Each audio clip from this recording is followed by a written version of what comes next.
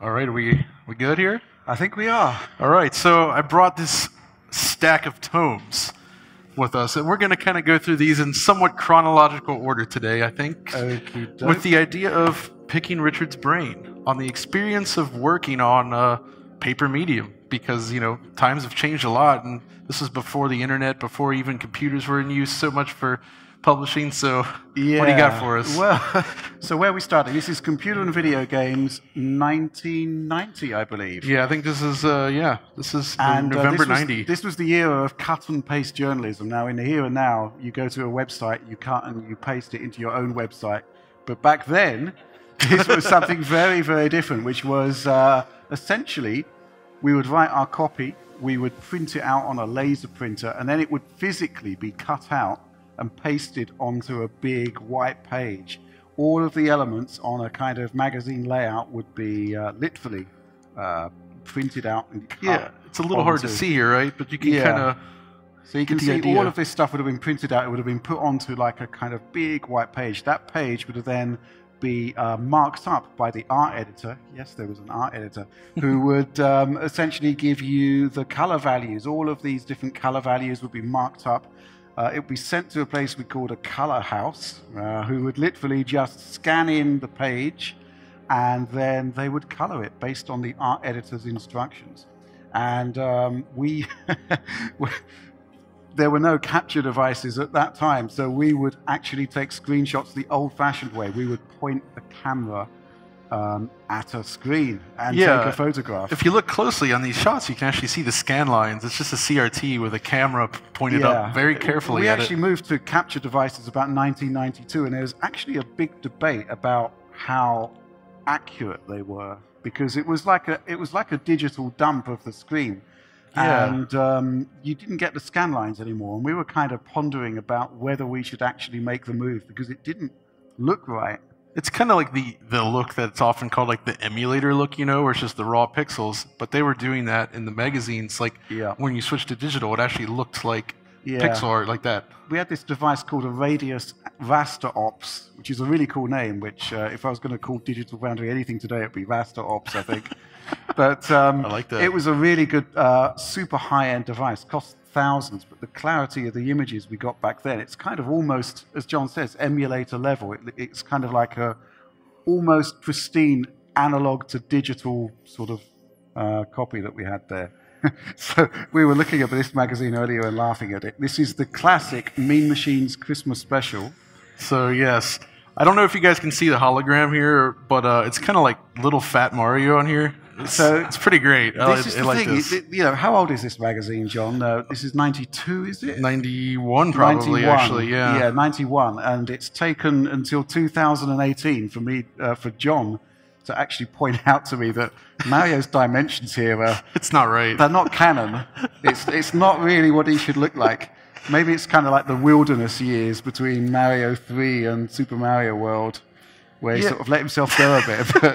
But yeah, I think if I was Nintendo now or Miyamoto, I'd consider that an affront. But back at the time, it Yeah, was pretty know, it awesome. worked. Yeah. But so this is interesting. I think uh, in the UK, from what I can tell here, Mean Machines was kind of a big deal. It was a very popular magazine. yeah, we sold about, um, at peak, about 150,000 copies a month. Wow, Which was pretty, pretty, good big for the print, time. Yeah. uh-huh. So were you involved in like Mean Machines essentially coming into existence after working on CV and G? Yeah, because um, Julian Rignall, Jazz Rignall, essentially um, came up with Mean Machines. It was a section in computer and video games, and we spun it out into a console-specific magazine. And I was actually kind of there when that happened, but I was working on CVG. But the point is that there was kind of like a shared team. Everybody would work on both titles.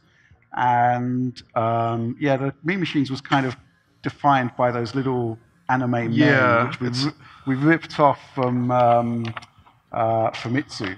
It's a little hard to see again from the distance, but you can see one of these little figurines here. It's like they actually use like little animated figures for each of the authors, and they would But- dress you guys up. but you know, it's to sort of uh, dispel certain illusions here. I mean, um, there were only a limited amount of those anime men. So what was actually happening was free, freelancers were, you know, could be me, could be Julian, could actually probably not Julian, but could be any one of the, the staff writers there, because there was actually limited art resource there. So CVG and Mean Machines teams at the time were very, very sort of uh, interlocked. We, we were kind of working together. I think I moved to Mean Machines full time, maybe issue seven or eight or something. Yeah, Uh, and uh, so that was 91. This looking like 92 here. But by the time you get to 1993, it's Mean Machines Sega. Yeah. And this is where we start to see the direct capture. Yeah. so what happened here? The the cut and paste journalism ended. We moved uh, finally to desktop looks nice. publishing. Look at that. Everything was done on Macs. It was um, it was it was kind of like a, a huge change for us. But yeah, the transition when we split Mean Machines into Nintendo and Sega magazines, we moved on to Macs. It was a big investment at the time, and we actually we didn't send anything to the color house anymore. In the basement of our building, we actually had all of the equipment down there. So we would have um, we would export these QuarkXPress pages. They would go down to the to the basement on the network. Uh, usually, that well, sometimes they didn't make it down the network, which was a bit of a yeah. pain. But uh, and then we would get back like um, for for yeah CMYK film. So it would all be then sent directly to the printers. So we could do everything in house at that point. Uh, Now, something interesting then about this is like that actually covering this stuff. Like, what was your relationship with like working with the publishers? And for instance, like today, obviously you have to go through all the PR channels, but from what you've kind of told me, it sounds like things back then were a little different in terms of how the games showed up. And Yeah, you could say that. Yeah. so, to give you an idea of how unofficial things were, to begin with, Nintendo didn't seem to have any kind of PR presence.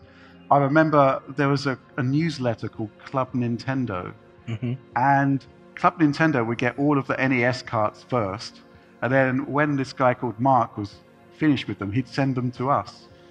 Uh, Hey. So there was no actual marketing people. What about the consoles themselves? Did you just go out and buy them yourselves? We, we probably got sent them, but um, uh, actually, one of my first memories when I went for my job interview, this would have been in June 1990. Um, this this was a big moment for me because I was an, an Amiga gamer at the time, and uh, Jazz showed me around the office, and uh, that was where I first saw the Mega Drive, and I saw um, Afterburner 2, Golden oh Axe. yeah, There was nothing like this on the Amiga at the time. I was Not blown really, away. yeah.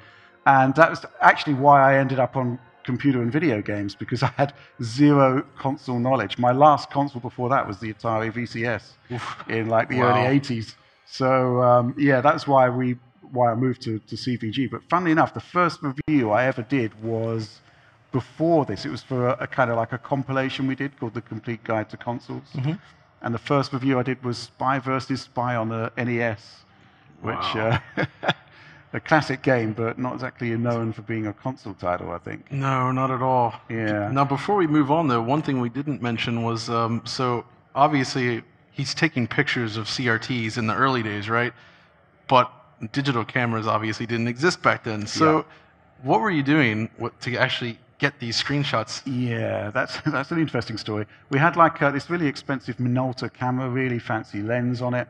We shot onto 120 millimeter film, so we actually had quite a big canvas for the transparencies. It's you know much better quality than the standard sort of 35 Right, mil. right.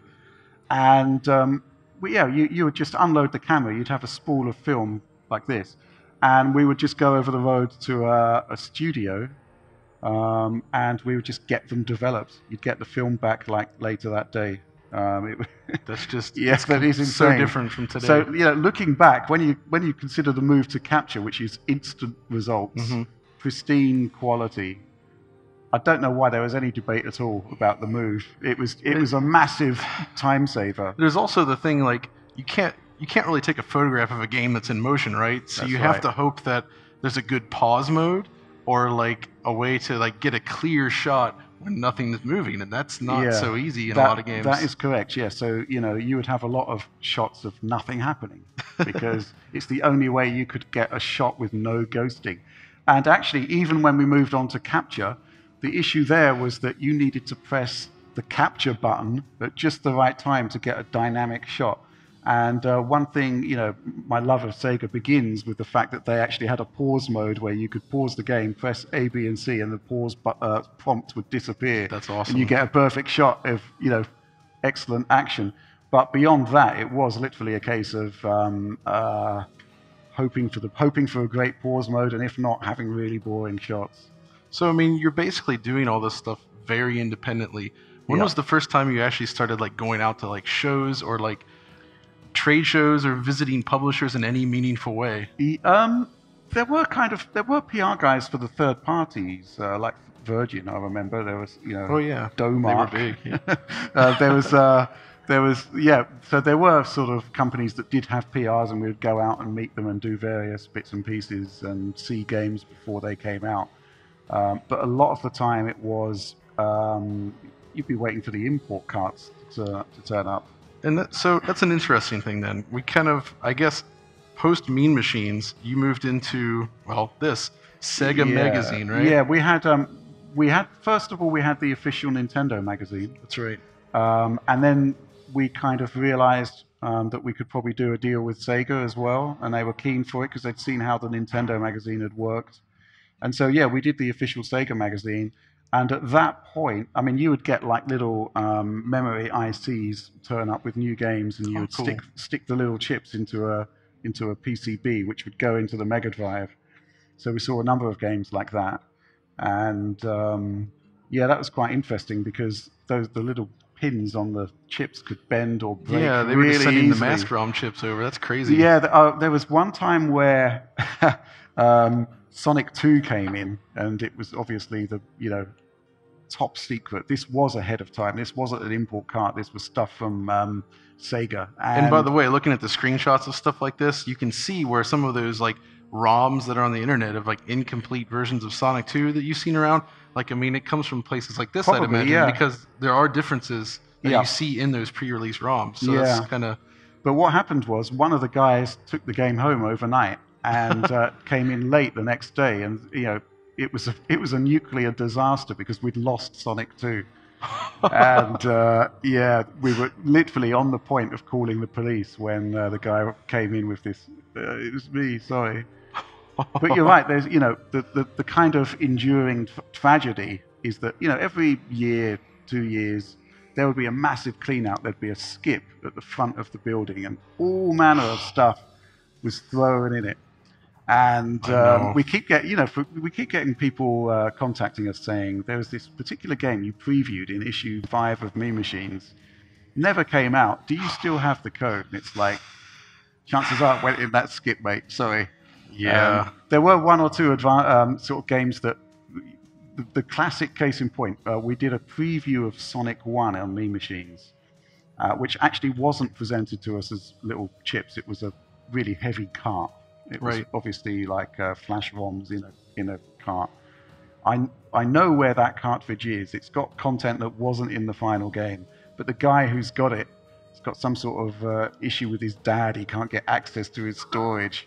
So Oh, no. there's all manner of little stories and bits and pieces, but the vast majority, have unfortunately, got thrown out, which is uh, a real shame for. I hope someday you can recover that card because I would really like to check I'd really out. like to see That would be an yeah. interesting thing to present, just to see what version that is. That's very interesting. but yeah, so like looking through some of the Sega magazine stuff, they did some awesome. Like, there's this huge feature here on on Treasure. You guys know Treasure, right? So like, I mean, there's like a look at their office here, and like look at all the different games. And it seems like you guys actually had like a liaison, Yeah. like in Japan at the time, that was kind of there's, helping you out. There's one magazine I think changed the landscape of journalism at Oh, the time, right, okay. which was Edge.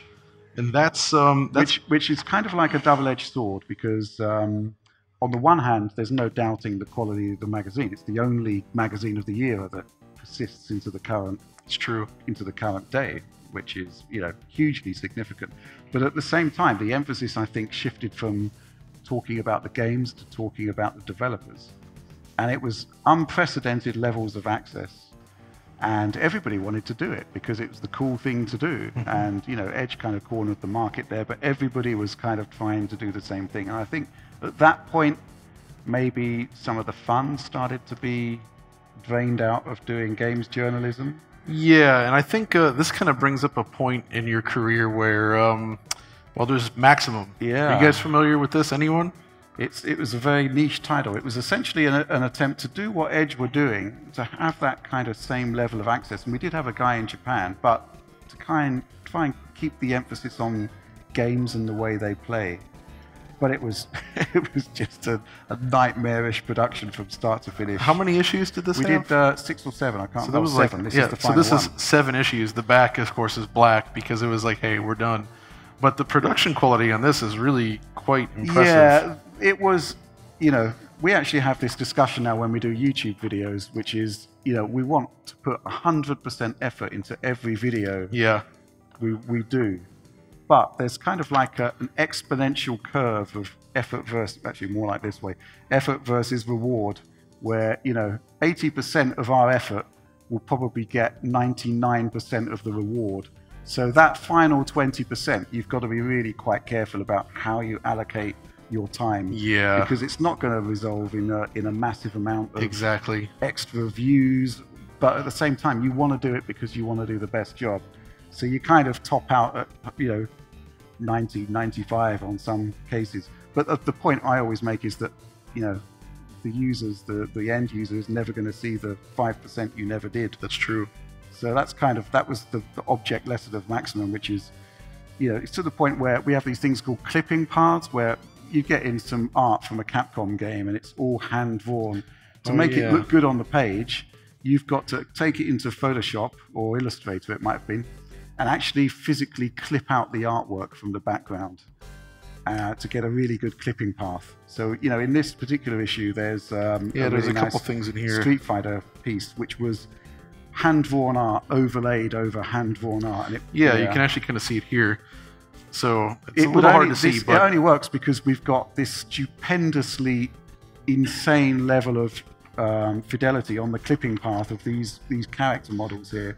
But you know, the art editor who did this would have spent like days. I mean, can you imagine Cutting like physically cutting out around every little piece Yeah, of it's like artwork tap, just tap, to tap. layer it on top of other artwork? That was the level of like detail that went into this magazine, which, to be fair, the user is not going to be, you know, aware of, and we're kind of at that point doing it for ourselves. And you kind of push Um, it a little bit too far. Yeah, so you know there were lessons that we learned from that one, which was specifically, you know, you've got to rein yourself in at some point and not go insane. And I think there are still areas, particularly in what we do now, where it's really hard to do that because Yeah, it's it's hard to balance that stuff. Like, so I've been doing that DF retro stuff for about two years now, and um, I mean sometimes I'm like crunching to get those done in just two days, and it just it takes a ton of work, and I kind of do it for myself at that point. But it's like you wonder not, like it's if not you two days though, is it? Because you, you then go and Yeah. work on Saturday. That's true, comes out, exactly. so it's actually a three day and it ends up becoming three day, and it's really just about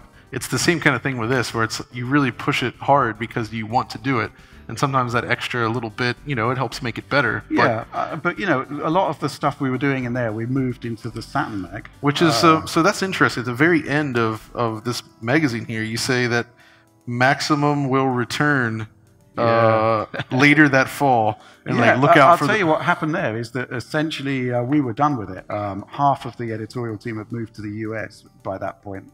There were literally two of us left to complete that issue. Oof. But um, the the uh, powers that be wanted to bring in a new team to continue to do other things because actually the final issue sold quite well Ah, uh, which is okay. a kind of crushing irony. The issue with Maximum was that we always put the game we thought was best on the front cover, and unfortunately, this was a PlayStation-dominated era, um, era, and we did Virtua Fighter 2, Sega Rally, uh, we did the Soul Edge arcade machine.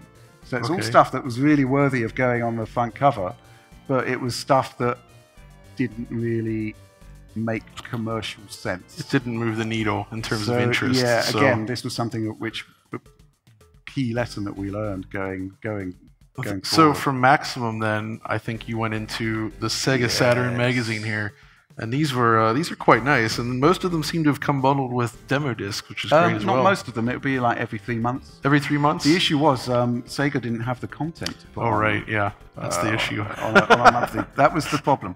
So we ended up doing stuff like remember we put um, issue one of uh, sorry disc one of Panzer Dragoon Yeah. Saga uh, on which you know was awesome. Yeah, that was still kind of an unprecedented thing where it's like the whole first disc on the magazine.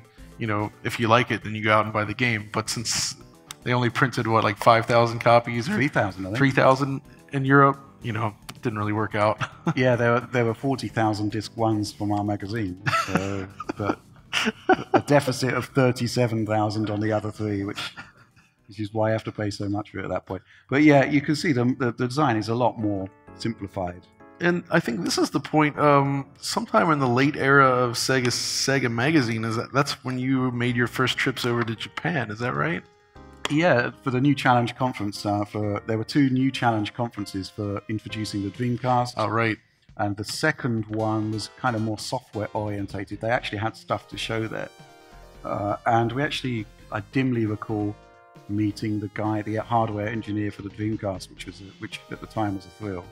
That's really cool. Um, but again, this, this is this is the kind of grand irony when you've been doing this for as long as I have.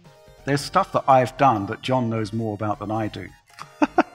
You know, the classic one being, uh, so that time you met the president of Sega. Oh yeah. I didn't meet the president of Sega. That never happened. And then it was in. But I've got a picture. Right. Okay. I, right. Yeah. Now I know it was a round table. It, I was there, but it wasn't like a one-on-one thing. But it was. I haven't thought about it. But you guys years. had a pretty close relationship with Sega, which was kind of seems like the first time in your magazine history where you were really kind of working a little bit more. Um, uh, you'd you'd say that, but um, we still did a lot of import stuff, which they weren't so keen on.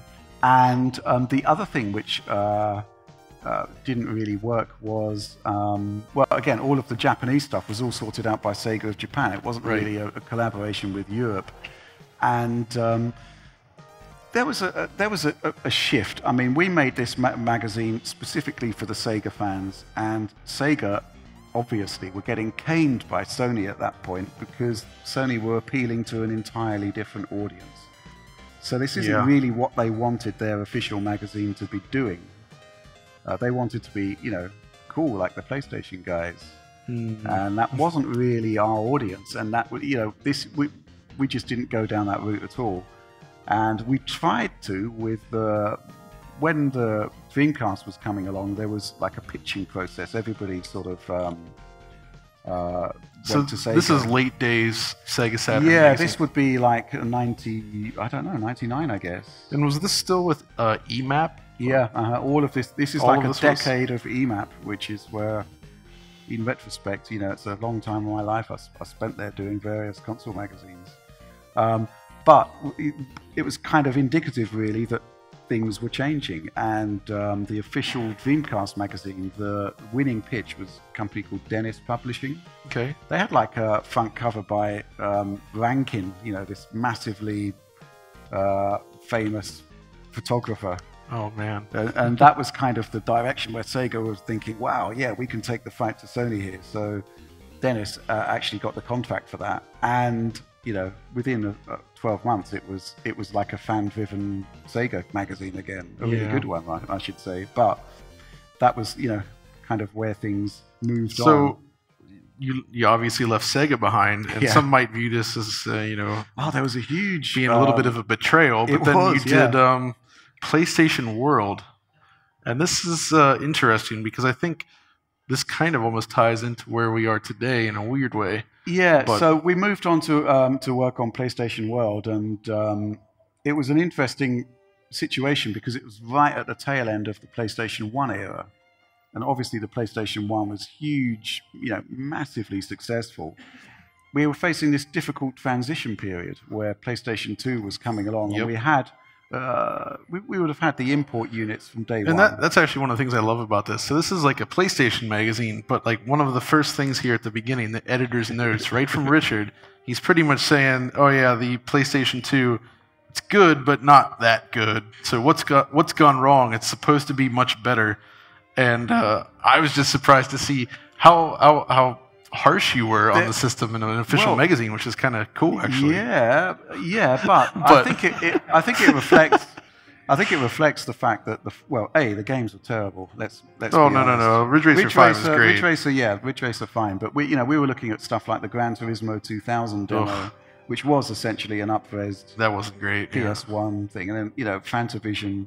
I kind of had a soft spot for that game, but it wasn't indicative of the quality to come, was it? No no no no. Um, So yeah, there was a um, th- that kind of. I, Some I went- shots in here though. that was my final trip to Tokyo, which was the um, uh, TGS. Uh, So yeah, what do you remember about that experience at the time? uh, driving emotion Type S. Oh, uh, the bouncer, those games where you, you- where they were really impressive visual. Does anybody remember driving Emotion Type S? Anyone? Yeah. Not even one person. Wow. Oh, right. Okay, a couple. That's The bouncer. so. Driving Emotion was a Square soft game, a driving game by Square, like the RPG company. And then one of the first things they show is this driving game, and it's not very good, but it was like uh, it looked good. it looked all right. Yeah. The bouncer looked good, but Yeah. that's about it. Yeah, so there wasn't actually that much to see on PS2 at the time, and it was a letdown. But when you sort of retrospectively consider it was probably one of the greatest consoles ever, yeah, it turned out amazing. it turned out there was just some phenomenal stuff on there by the end of the of the generation.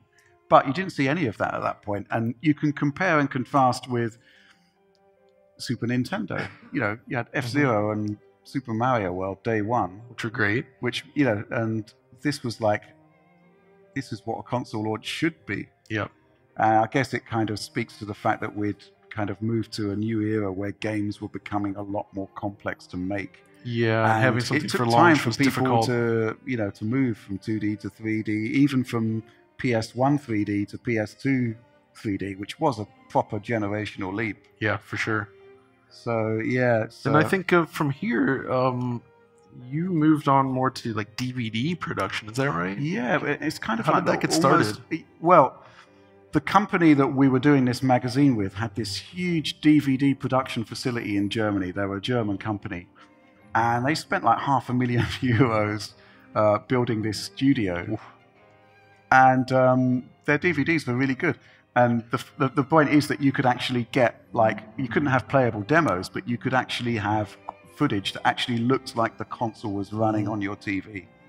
And so from there, the, the, the kind of focus shifted to making those discs in the UK and doing it in a more cost efficient manner.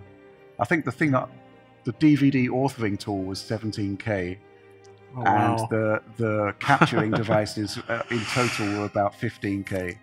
But even so, that's a bit less than half a million euros. So it's that's a win. that's crazy. Yeah, but um, that was basically where we tried to compete with the official magazine by having a disc on the front, even if it wasn't Playable. playable. And uh, yeah, you were over mine the other day, and you were looking at all of these mountains of, of discs, and you were thinking, maybe there's some preview code here that yeah, actually shows stuff. that's the thing is it's like he actually has a whole crate full of these old discs, and so I'm gonna read that and see if we can find something good to use on the show. Yeah, I mean, we actually did get quite a lot of pre-release code that would have been very, very different to the final games there. So. But you did some cool stuff with the DVDs, like the uh, Yeah. Knights of the Old Republic 2 one a little bit later on the Xbox yeah, side. this was where after magazines we were just doing DVDs, and we did one with Prima for Knights of the Old Republic. It was like a strategy guide on a DVD, but we had like access to the the voiceover guy who did HK47. He was like the pretty cool. narrator on the disc, and we got him to do some like little voiceover cuts, and there was like a DVD Easter egg we put on there. It took about ten years for people to find oh, that's great. and uh, you know little little quotes that he came up with to just sort of embellish that disc a little. Rude alert, rude alert. An electrical fire has knocked out my voice recognition unicycle. Many Wurlitzers are missing from my database. Abandoned shop. This is not a daffodil. Repeat, this is not a daffodil. But um, doing that DVD stuff, and uh, it all sort of tapped into an interest I had, which was getting the best quality outputs from the from from the machines, and that kind of led on to what we do today, really. Well, when was the first time you said actually thought of the words Digital Foundry? Then? Um, it would have been in end of 2003. Uh, but at Wow. that point, it, So that's the there, beginning. there was yeah. I mean, we didn't really start doing Eurogamer articles no, no. until 2007. So it was like a three-year period where we just did bits and pieces like DVDs and and whatnot. And um, thinking about it, we did do a sampler disc which we would send out to prospective clients, which showed them some of the DVD work we've done. So I might, I mean, that would be about eight gigs. So maybe I'll stick that on the Patreon. People can download and take a look at Yeah, it. that would be But cool. there was some interesting stuff there. I mean, we did stuff like um, uh, did something for God of War, The Getaway, Black oh, yeah, Monday. I remember that. Yeah, lots of interesting little projects that we did there. Uh, but you know, it was only really when we started doing the Eurogamer articles that Digital Foundry became what it, anything like what it is today. That's right. Yeah. But yeah, I mean, um, I think we're probably coming up on the point for questions here. It's Okay. been uh, it's some time here, but we could probably go on for hours with the stories he has to tell. But hopefully, that's kind of a good rundown of just a very general history of well your career and kind of the experience of working on these magazines back in the day. Is there it- any other like last things that kind of interesting to Um, mention here? Just that things these days much more immediate. We had like a month to do a magazine. In the early days of Mean Machines, we had a, um, a Street Fighter II arcade machine. We'd play Street Fighter II for a week. We wouldn't do any work, any work. And when Super Mario Kart came along, no work for like a week, maybe even two weeks. Then you'd cram everything into that last two weeks. Super Tennis, do you remember Super Tennis? Yes, on the, yes, yeah, that was another game which you know just dominated. And you guys had like import systems before they were here, right? Uh huh. Yeah, I remember um, when when when the Super Nintendo arrived. Um, there was a massive crowd watching um, Super Mario World. Everyone gathered round to see it. Oh, and, yeah. uh, but funnily enough, when we put in F Zero, everyone just disappeared, uh, which was kind of curious. Except the guy who uh, brought the console down, the guy who the, the import guy, basically, who you know he he looked at that and thought, I'm going to make some serious money here." and, and he was probably right. Yeah.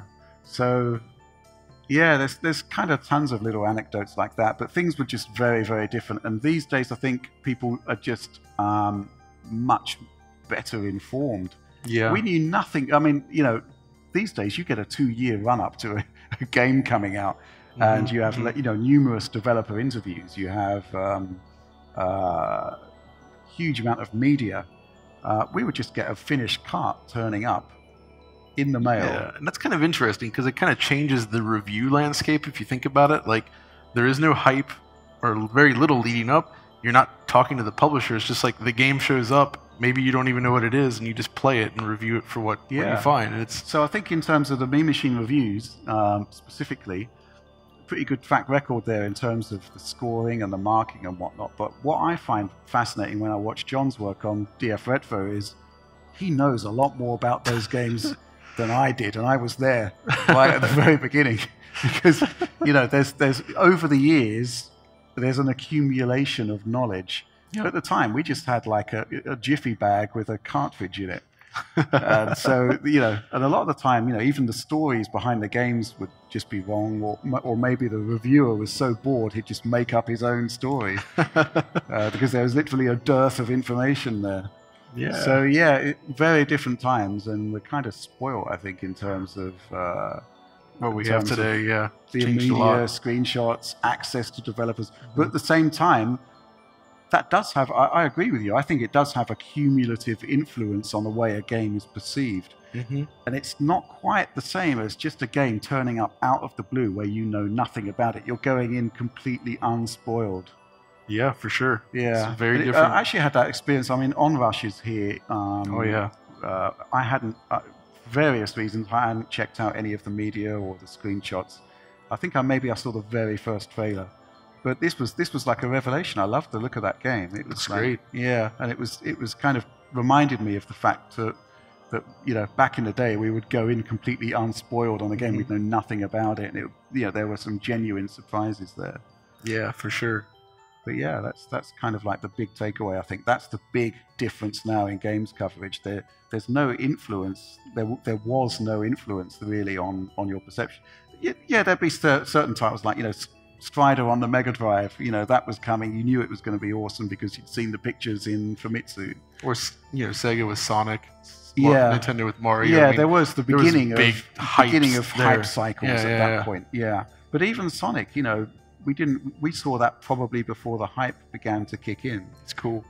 So yeah, it was a, a, an aspect of the thing that's just completely different now. Cool. All right. Well, um, I think we should take some questions. We have some time for that, right? Yeah, yeah. So If anybody wants to ask anything, just come on up to the mic and uh, go for it.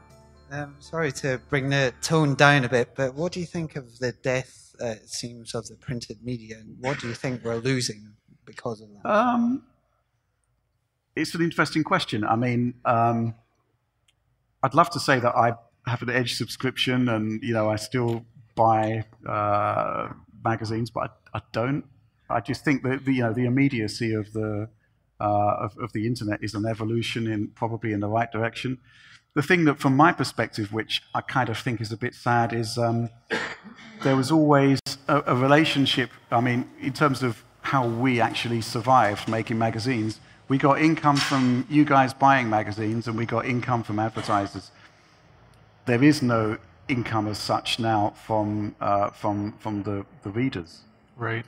It's all advertising, and so that has had uh, a skew, uh, which which may not be entirely healthy. And this is kind of why we it's why we set up the Patreon for Digital Foundry to kind of gauge just how many people would be interested to actually go back to this kind of arrangement where we actually get revenue from uh, from users as well as advertisers. So that's been quite heartening in, in, in some respects. It has been really useful for us.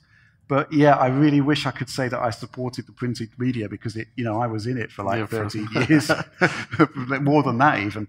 But you know, I think just in terms of the way we consume, you know, consume information these days, the internet is just a, a Yeah, more I could- streamlined. I think with the magazines, I mean, that was the only way to know what was going on, right? And people, Yeah. so naturally, it's like if you wanted to know what was happening, you go there. But now it's more just like a, a fun little thing to read a magazine in a way because you can get all of that information faster directly on the internet.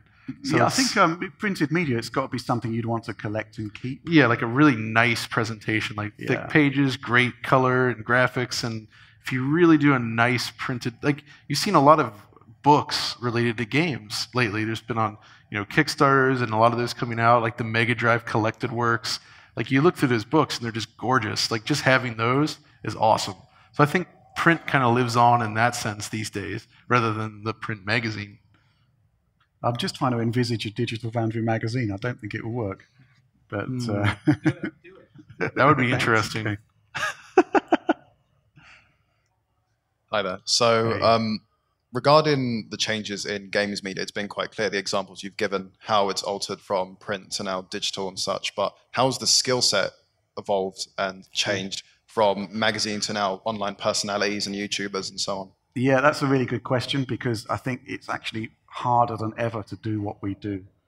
So if you consider the skill set that we have that we need to do to do Digital Foundry, we need to be able to write, we need to be able to edit, Mhm. we need to be able to present in a vaguely competent manner.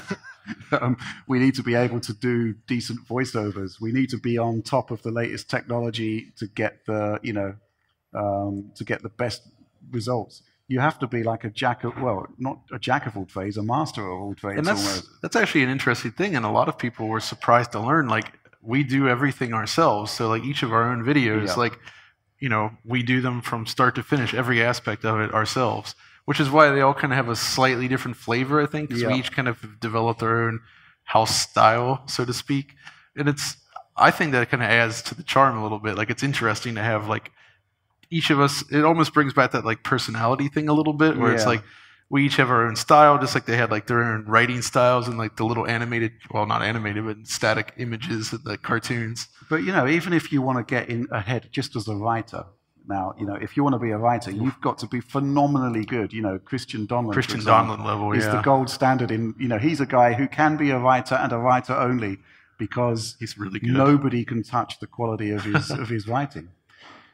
However, you know, it's it's even if you want to be a writer these days, you kind of need to be able to set up a website Yeah. if you if you're not a freelance for another site. The only way you're going to get noticed is to have a site. YouTube, I guess, is a touch easier in that regard because the platform is there for you and right. and the tools are there for you. But you know, writers ain't got it easy these days. And yeah, So- even just for any YouTubers that's doing stuff with like filmed footage, like setting up all the camera stuff, getting the mics, the lighting, like that all takes uh, some effort to get right Yeah. to make it look decent. We actually And- started off, we had an editor guy who worked for us remotely at the beginning of Digital Foundry. The issue that we had was that he wasn't fully au fait with the content. So we were actually spending more time marking up scripts with, right, okay, put in a clip of Gran Yeah. Turismo here.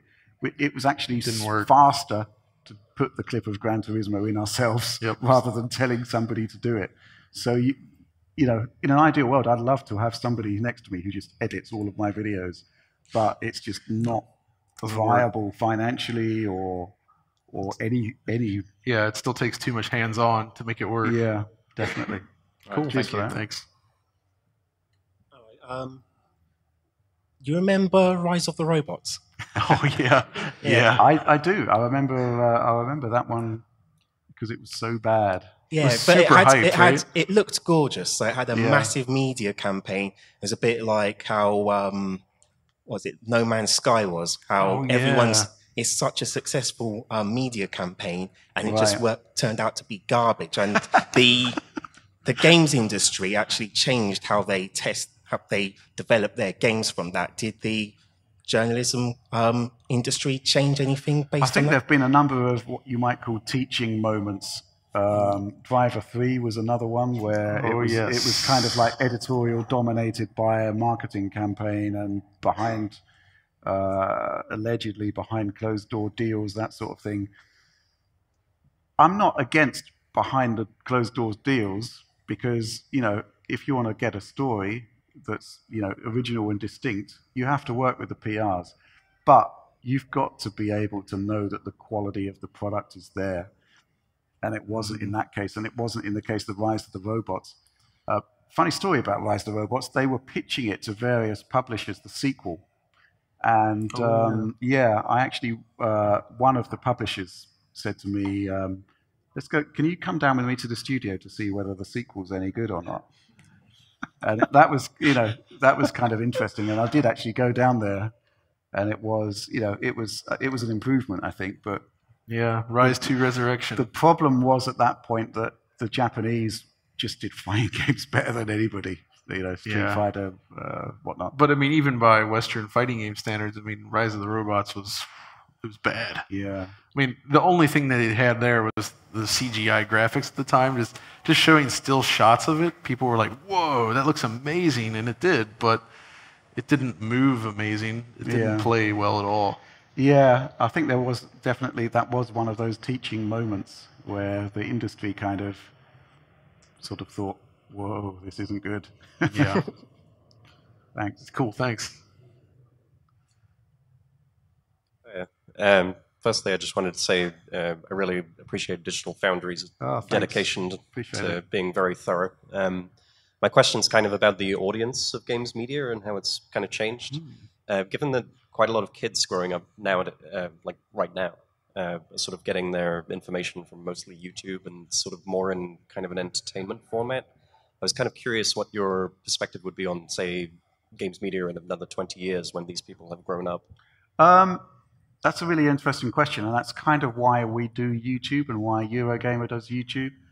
If you look at, you know, on the face of it, the uh, YouTube gaming audience kind of skews young. Uh, but at some point, these guys are going to grow up and they're going to want something different than, you know, people shouting and screaming at a Yeah. horror game or whatever. Hopefully. Uh, hopefully, yeah, or maybe not. Who knows? But um, uh, that's kind of why we're doing it, and we're kind of hoping that we can make a difference there.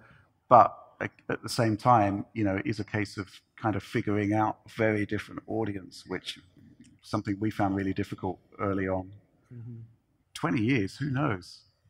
I have absolutely no idea. I couldn't have predicted Where we're 20 years now. ago where we're at now. Uh, that's for sure. But it, this is the kind of thing that I found interesting about doing YouTube stuff is that you, there was actually a, a transferable skill set going from magazines to the web. You know, you could write. Somebody else sorted out layout and whatnot for you. So, Mm-hmm. you know, it was just a case of being able to write. I kind of embraced the challenge of doing YouTube uh, because it was something new that I, I had no real knowledge or experience about whatsoever. And I really wanted to try it and to see what we could do there. It Worked Uh, out pretty well. uh, well, the, what I really enjoy about it is that I'm always learning about it, and um, John in particular has been at the forefront of pushing quality and production values. And I learn a huge amount from John, which I find hugely satisfying myself, and being able to to you know raise my standards that way. So, but in terms of where things are going to be 20 years from now, I don't know. Brain implants, sort of little retina scanners that beam video directly onto your eyes. Who knows? It's kind of scary, in actual fact. Thank you. Thanks for that. Hi there. Um, I've got two questions, if that's all right. Yeah, Um, so, first one, I talked about taking screenshots back in the day and how difficult it was. Um, I used to be a Game Boy coder and make Game Boy games. So, taking screenshots on Game Boy, how was that done? Oh, Wow. yes. Yeah, that's There's some in interesting one. those actually. Yeah, initially there were attempts to photograph the screen, and uh, yeah, it, it went badly. Uh, secondly, there was, I believe it, there was a there was a Game Boy device that we had. I think it was a standalone device that you could actually capture from, or more specifically, you could it would it would put this put the output onto a CRT and you would photograph the screen. Have you got an example there? I was looking for that. Like, um, here's well, actually, what is? How would you have gotten this here? Like, here's a Game Boy shot. That would It's have not a photograph. That would have been ripped off from Famitsu. yeah. I, thi- I but think yeah, you hear that a lot back. It then. was yeah. We had there was a CRT based unit where you, which, which plugged That's in, the- which the wide which- boy. which- yeah, it kind of worked pretty well. I think. I actually Many saw. I, you can keep uh, explaining because I swear I did actually see a good example of a photograph Yeah. of Game Boy in here. Now that you mention it, and Yeah. it's quite interesting looking. Oh, here it is. If you, you can actually come it's- up and take a look. So these, I think, are actual photographs yeah, from a Game Boy when, screen. Yeah, you can And see it's it's just- not working out, is it? No. So yeah, we did actually have a specific device, and it actually persists through to the current day, where uh, you get like um, for 3DS they have like an, a, a specific dev kit. Yeah. What's your second question? My second question is um, obviously, Mean Machines uh, split into two magazines, Yeah. Nintendo and Sega. Um, personally, I wasn't a fan of the split. I enjoyed them being in one magazine, covering both pla- platforms. Yeah. Um, can you talk about this, the, the It was decision entirely a business decision uh, because we had the official Nintendo license, and it kind of made sense rather than to, CVG would take over the multi-format area, and then we'd split Mean Machines into uh, Mean Machine Sega, and it was originally going to be Mean Machines official Nintendo, but they just dumped the the Machine. It wasn't going to work out. So um, yeah, that's kind. of, it was. It, you know, I kind of wish it was done on purely editorial terms, but it wasn't. It was kind of cynical. I, I agree entirely. It wasn't the same afterwards. I got to Uh, say though, real quick, this is probably what Nintendo doesn't love. I mean, like sections like the mean yob. Everybody, Yeah, the Me- Mean Yob was great because people literally wrote in to be insulted. Can, can, can, can you imagine doing that on, on YouTube these days or on, on a website? The, the comments would be a dumpster fire. Yes. but yeah, what Reddit we, is? it- we literally Yeah. had, uh, I think there was a section, this was all Julian, by the way, all, all, uh, where uh, he asked for photographs. Yeah, here we go. Ins- Oh, yeah. Insult Corner, where people would send in pho- photographs of, them, of themselves. Somebody sent in a picture of himself mooning, and the caption reads, uh, Daniel Baker of Tunbridge, Kent, sent us a picture of the most attractive part of his body. So, it- yeah. Oh, you- my goodness. I, kind of, if only we could do that today. I mean, uh, you know, I don't think the audience would appreciate it. no, I don't think people would love No. that too much. But you know, different a different era at that point. Oh, it's great. yeah. Thanks for the question. Thank you very much. Nice, nice Thanks. onesie as well. Yeah, that's nice. uh, that's cool. Okay. I think that'll do it. Yes, that's it. So um, that's all the time we have. So thank you very much for coming, and thank you very much to John and Richard.